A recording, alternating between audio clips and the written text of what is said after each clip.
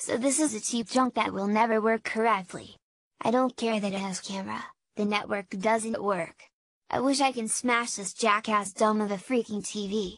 In fact, I wanna say this has a crappy analog just like the rest of the TVs in this country, or other countries that analog still works. Well, I wanted to get rid of this TV but I fail.